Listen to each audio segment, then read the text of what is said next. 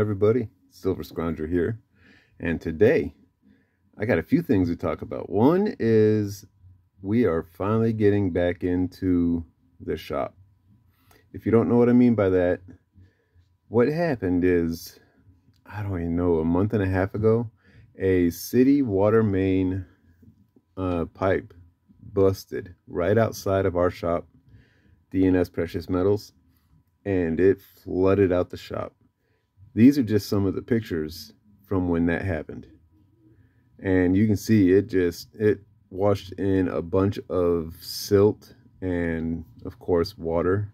But it was a complete disaster. It just happened uh, real quick. Ended up with and in some parts of the shop almost six inches of water in it. So we've been kind of operating at a very uh, reduced scale i guess you can call it uh, out of a neighboring shop's uh, well shop. But they've been gracious enough to let us do so and it's been it's been helping out. But we finally are to the point where we're getting ready to get back into our shop.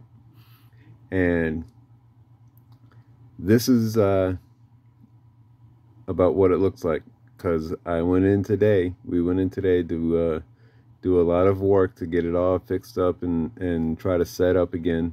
And this is what we were up to. Well, looks like we're going to be open on Monday, which is tomorrow. What is that, July 1st? Yes. Awesome. That there's David, of course. Yes, doing all the work. Look at this. We got brand new carpet in here, brand new walls. We are setting everything up. We are dealing with all the mess. Got to sort it all out. All brand new carpeting everywhere, except for back here, it's all tile. So we got a lot of work to do today to open up tomorrow. So a lot of work. I mean, we had to get all that stuff that you saw in that uh, quick clip we had to get all that stuff out of one of those uh, big container boxes that you rent. You know, the, uh, I don't remember what the name of the things are, but uh, basically they drop it off, you load it up, and either they can take it away for storage or they leave it on site. Either way. But uh, we left it on site, so all of our stuff that was in the shop stayed inside of there. And uh, we had to get all that emptied out and put back into the shop. And we just did it in a quick hurry. Didn't really uh, pay no attention really to where it was all going. So that's why you saw all the mess, as I called it, I think, uh, everywhere in there. And now this is at the close of the day when we were finally finished for today at least because man it was a long hot day but this is where we are at at the moment and tomorrow morning uh, we're gonna get it set up the rest of the way and be ready to open by 11 a.m. so that's really cool it's still going to be at a reduced capacity. We're not going to be doing the jewelry still. Uh, we do have coins and uh, bullion that we're going to be setting up. We are still going to be able to buy jewelry and scrap and all that, but we won't have it set up yet. So, but anyway, this is what it looked like after we did all the cleanup. All right, there's our hours again. Once we start opening up again tomorrow, Monday. All the work we did today, it is a lot cleaner in here now. Carpet looks good. Still got to set up for the jewelry. That's going to take another week or two. But we will be open for coins.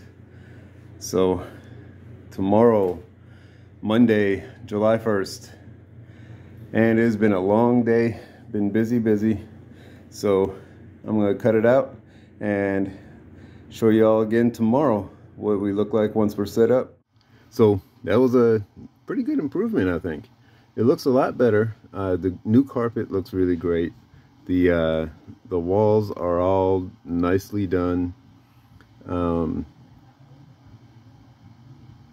I just can't wait to be able to get it fully set up. We do have some new display cases coming. So that's why we have the ones that are in there right now set up the way they are. We're waiting to get the new display cases in and then we'll be able to start getting the jewelry set up again. So it's going to be uh, still another couple of weeks to get fully set back up again and then we got the back offices that still need a lot of uh, attention, I guess you can call it. So, but it is feeling great to be back in the shop and uh, be able to spread out a little bit again. And yeah, so tomorrow, August 1st, I think in my short video, in that little video I just showed at the beginning, I said July 1st, it's August 1st but we will be open for business and that is a great thing. So hopefully anybody that's in the area will see you there. Now some other things is over the weekend I did get some pickups I got a little bit of mail call I got a little bit of stuff from another coin shop that I just couldn't resist and uh and yeah so let's see what we got here first off I picked up from uh another local coin shop, $6.50 in junk silver. I only got that much because that's how much cash I had on me at the time. He had a really great deal going on him on it, so I couldn't pass it up. I spent every dollar I had in my pocket, and that's what I was able to get. All quarters and dimes, so that's pretty cool. Then my mail call I got this beautiful one right here. Come on. It does not want to pick it up. All right. 1884 Carson City in an MS62. Look at that. That's pretty one.